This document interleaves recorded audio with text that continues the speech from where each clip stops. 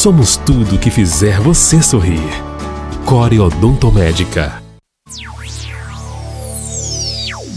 Online, cidade de São Miguel das Matas, Gilvan Quadros, para falar um pouquinho da pré-jornada em São Miguel. São Miguel que a gente tem dito o seguinte, nem sempre continuidade significa continuismo e parece que o desafio tem sido esse. Mas manter essa estrutura de pessoal com um novo olhar, com uma nova forma de conceber a gestão. É, Gilvan. Bom dia, Magro. Bom dia, internautas da CriativaOnline.com.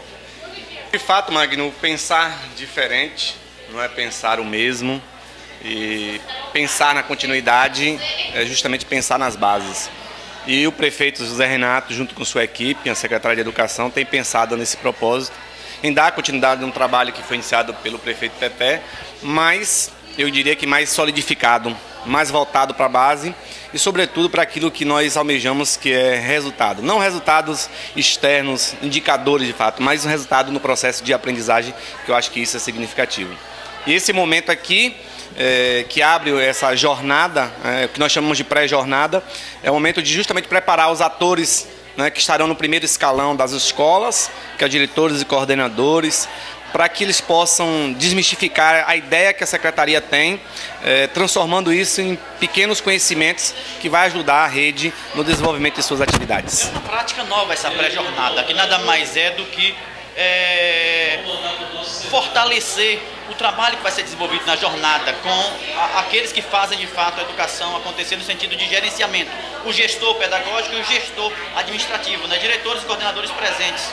Sim, e é justamente aquilo que eu falei anteriormente, é a oportunidade que se dá a aqueles que vão atuar nos seus diversos campos a conhecer qual é a proposta.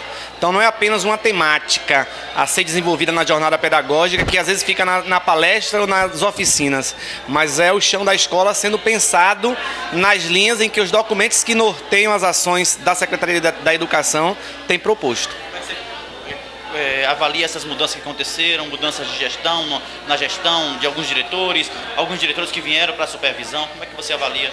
Você que conhece com propriedade essas áreas todas. Toda mudança eu acho que é necessária, mesmo porque senão a, o continuismo ele acaba tornando monótono as coisas. Não é? Com certeza. E eu acredito, embora um pouco meio distante da, da Secretaria de Educação por estar atuando na escola, mas eu acredito nessa possibilidade de mudança e que essas mudanças certamente surtirão efeito. Aliás, já, já, pelo que o pouco que eu tenho convivido e ouvido, ela já tem surtido efeito. Então, eu acho que é necessário fazer para que se motive essa equipe, que embora sejam em sua maioria com, com os mesmos atores, mas em funções diferenciadas, que talvez é, esse potencial tenha estado escondido. Um abraço, obrigado pela atenção. Obrigado, Magno.